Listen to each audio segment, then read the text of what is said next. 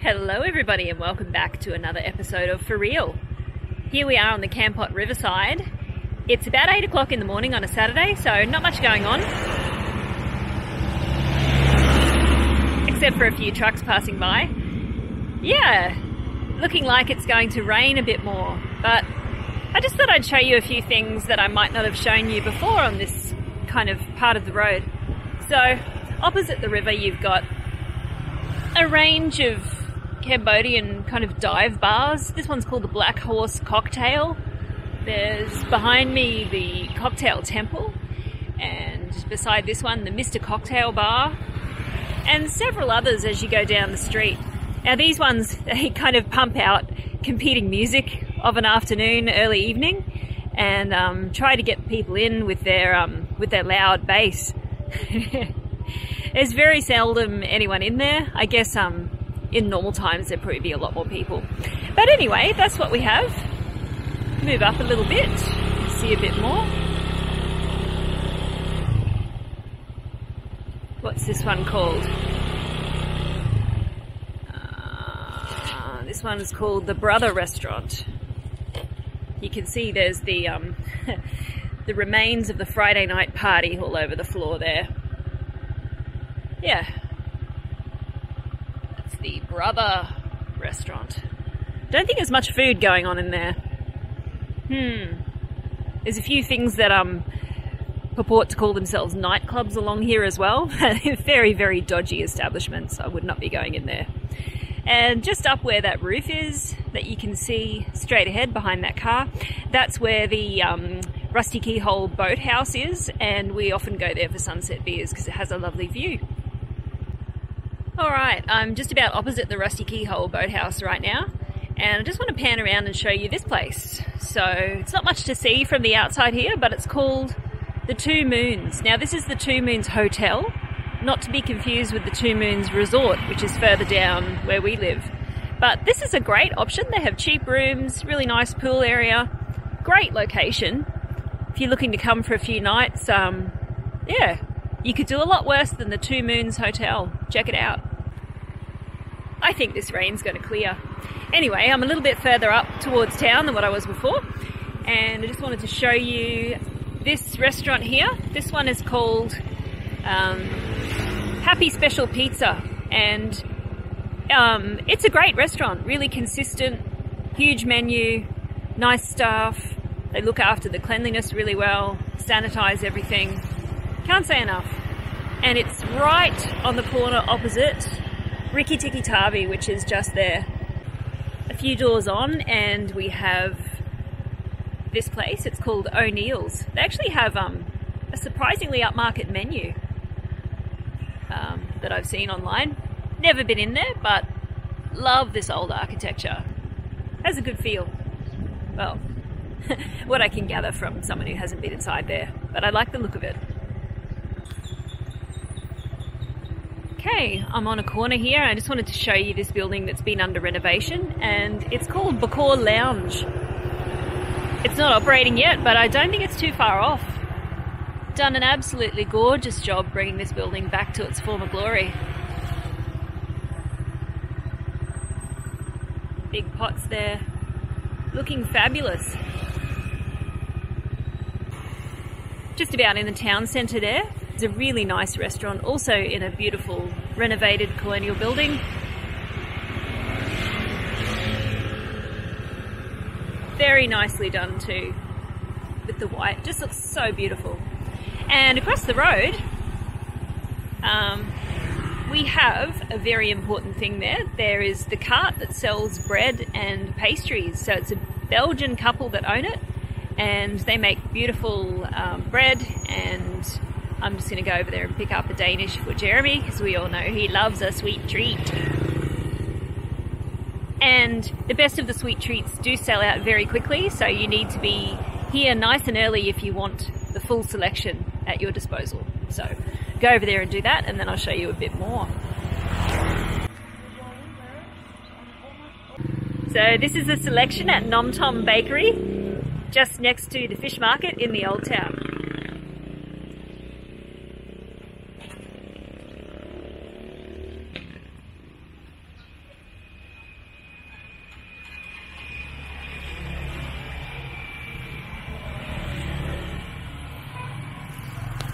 Okay, so this is pretty much Kampot Central. Fish market there. And then if you swing around, that's the old market. So there's a block that runs on either side of this, and I guess that's considered the town centre. So we'll go and have a look at that um, in a bit more detail. So usually the places along these streets have a lot of people sitting out on the footpaths and stuff. Um, so it's good to come in the morning when there's no one around and um, film a bit more freely. So there's a few restaurants and bars on that side. Um, the central market thing has a row of shops on either side and kind of a walkway down the middle. Um, most of the shops are occupied, but there's a few that are kind of sitting vacant, not much going on. But there's like a fruit and veg seller down there, a few more bars, there's a burger joint, I think, and over here there's a nice um, ice cream shop, and there's an ice cream shop on the corner as well. But there were people sitting there, and I didn't want to disturb them. So we'll go a bit further down here and have a look, see what else there is to see.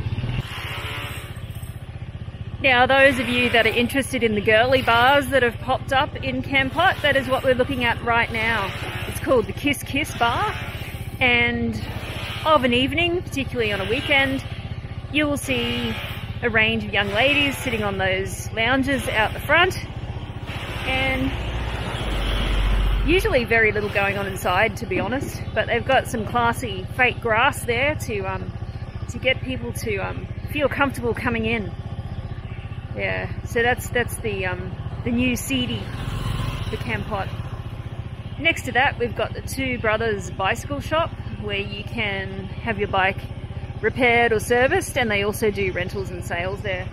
Pretty cool. All right, these places used to service um, tourist crowd. Uh, it says private room and dorm, $3. So we're talking um, fairly low cost accommodations right here. All right. I'll tell you, that yellow car has just pulled in. They're just about to show you the Laundry Cafe. They make burgers there that Jeremy likes very much. There's a little fruit and veg stand. We'll just keep going to the end of this block and go around the other side and have a look what's there. Alright, this is the amazing Happy Pizza Pub 2. Just makes you want to go in there, doesn't it? And next to that we have another girly bar. One's called the Tanya Sinaga Bar see there's someone still there from last night asleep on their lounge. And next to that, we've got a blind massage joint. Seeing Hand Massage 5.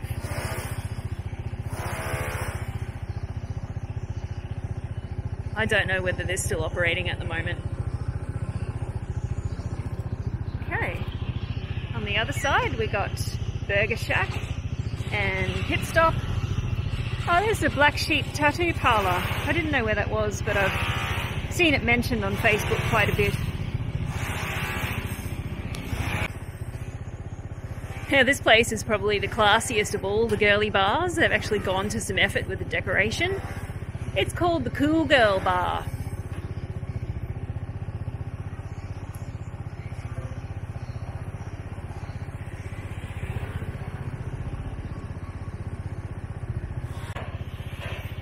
Another little fruit and veg stall there. And then across the way we got some construction happening. This guy's doing some work here. Up there on the awning. And this is delicious. They do really nice looking um, salads and um, dishes like that. Okay, so just down on that corner, I thought I'd show you a couple of things of note. Just um, directly in front is a place called Bookish Bazaar. And doesn't look like much from the outside, but upstairs they have a massive range of books. You'd be really surprised. Incredible. Uh, they also have a resident cat, so definitely worth a look um, if you're around this area. Have one of Kampot's more fancy restaurants here, Tertulia. And um, never been, but have heard that they have a good reputation and good food. Okay, there's construction there that's been going on for a very long time. Don't know what it's going to be. Across from that we have Milano Pizza and Coffee. Now of an evening that place seems to have a lot of people in it. it seems to be very popular with um, expats. Now the Milano Pizza Cafe is on the corner, so if you go around that corner, next to it on the short side of the road is the Darwin Mini Mart and Grocery Store. It's a really good little shop that one, very handy, good range of stuff, really worth a look. And I'll just pan you around there. There's what used to be a guest house there.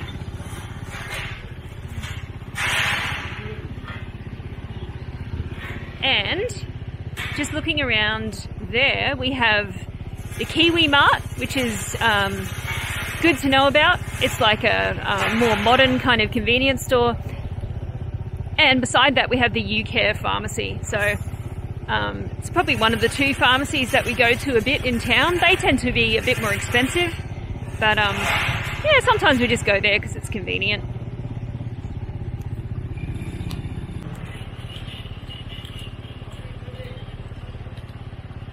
Okay, over there we have the old version of Daily Meat. There's a new shop as well, and next to that we have the Natural Cafe.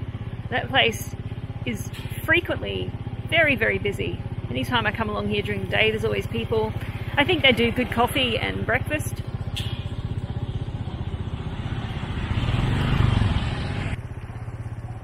And here we have the Happy Yummy Pizza.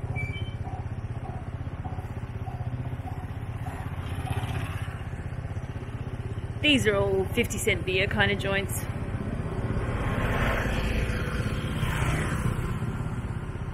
Okay, a bit further up on the left there we have Simon's, which is, funnily enough, an Indian restaurant. They do some really nice food and we get takeaway from there maybe once every two or three weeks. Good stuff, really nice food, good prices, lovely service. Yeah, it's good. Alright, so nearly back at the river now, and we have like a little convenience store, and beside that, another girly bar. This one's called the Nasha Bar. We love to serve you, it says, and it's got a picture of a lady on a pole there.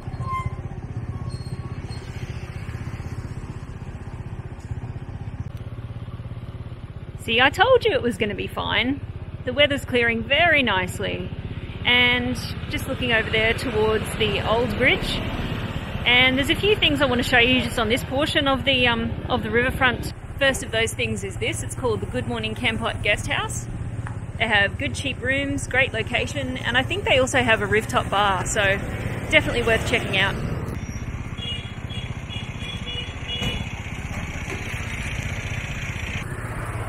Okay, and just beside the Good Morning Kampot Guest House there's a little pharmacy, and can't say enough about this place. They speak great English, uh, massive range of stuff, um, really thorough knowledge of what they have in stock. Um, yeah, great spot, good prices. Check it out if you need something. Uh, highly recommended. And next to that, there's a restaurant called Max's Italian Restaurant. We've been there once, it was lovely, nice service, nice people. Definitely worth a look at that too. Okay, I'm just down here between the two bridges and if I just swing the camera around I am outside at one of our favourite places to come and have some food. This is called Ecran Noodles and they do dumplings and um, hand-pulled noodles. Really good stuff. But perhaps the best thing about it is that they have this lovely covered area where you can sit and see the sunset. Not only that, but they have an upper level as well. So definitely a great place to come if you want to sit and have some food, a couple of beers, watch the sunset. It's great. Food's delicious too, particularly the um, uh, steamed pork dumplings are what we get most of the time.